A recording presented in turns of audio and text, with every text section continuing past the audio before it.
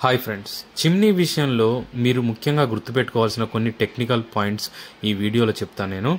Uh, main వచ్చేసి window మీ stove పైనే విండో ఉందనుకోండి అంటే జనరల్గా వాస్తు ప్రకారము లేకపోతే వెంటిలేషన్ కిచెన్లో ఎక్కువగా ఉండాలని లేదా సేఫ్టీ పరంగా గ్యాస్ ఉంటుంది కాబట్టి సిల్ ఎల్పిజి సిలిండర్ ఉంటుంది కాబట్టి దానికోసమని ఖచ్చితంగా ఒక కిటికీ ఉండాలనేసి పెడుతూ ఉంటారు.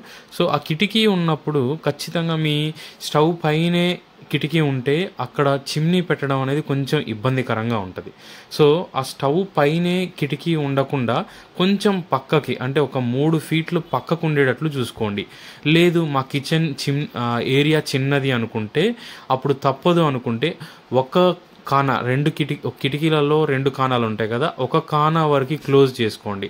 అంటే మినిమం రెండు ఫీట్ల వరకు మీరు అక్కడ వాల్ ప్లెయిన్ వాల్ లేదా ప్లెయిన్ చెక్క ఉంటే ఇది ఫిక్స్ చేసుకోవడం ఈజీగా ఉంటుంది. కొందరు కబ్బోర్డు లోపల చిమ్నీని ఇన్సర్ట్ చేయాలనుకుంటారు. అంటే డక్ట్ పైప్ బయట బయటికి కనపడకుండా హోల్లో పెట్టాలనుకుంటారు కదా.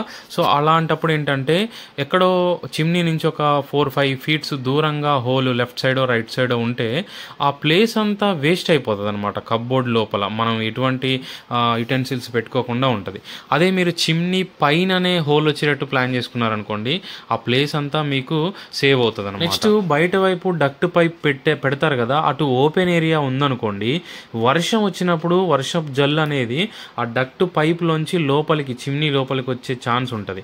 కాబట్టి కొంచెం కర్వుడ్గా ఆ బయటికి వెళ్ళినటువంటి పైపు దానికి ఒక కౌల్ కవర్ క్యాప్ ఉంటుంది కదా దాన్ని కర్వుడ్గా కింద వైపుకి పెట్టినా లేదా లోపల ఉన్నటువంటి లెంతీ పైప్ని కొంచెం మధ్యలో ఇట్లా అప్పుట అప్పు చేసి కొంచెం బెండ్ చేశారనుకోండి అక్కడికి వాటర్ అనేవి లోపలికి రాకుండా ఉంటుంది అనమాట లెవెల్ అనేది కొంచెం అప్లో పెట్టాలన్నమాట. మన హైట్ని బట్టి చిమ్నీ హైట్ని అంటే స్టవ్ నుంచి వచ్చిన చిమ్నీ స్టవ్కి చిమ్నీకి మధ్యలో ఉన్న హైట్ని మనం అడ్జస్ట్ చేయకూడదండి. కంపెనీ స్పెసిఫికేషన్స్ ప్రకారమే థర్టీ ఇంచెస్ లేదా థర్టీ టూ ఇంచెస్ మనం పెట్టుకోవాలి. లేదా స్లాంటెడ్ మోడల్ అయితే ట్వంటీ ఫైవ్ ఇంచెస్ నుంచి స్టార్ట్ అవ్వాలి. దాన్ని వాళ్ళు ఇష్టం ఉన్నట్లు అడ్జస్ట్ చేస్తూ ఉంటారు కస్టమర్స్. మనం హైట్ ఉన్నాగా తలకాయ తగులుతుంది లేదా కింద మనం పొట్టిగా ఉన్నాం కొంచెం కిందికి దింపండి అని ఇట్లా అడ్జస్ట్ చేయకూడదు. చేస్తే ఏమవుతుందంటే దాని సక్షన్ అనేది వ్యారీ అయిపోతుంది.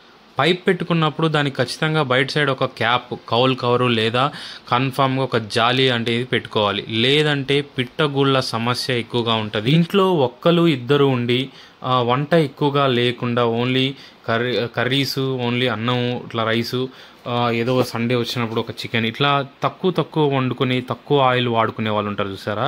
వాళ్ళకి పెద్ద పెద్ద చిమ్నీలు అవసరం లేదండి.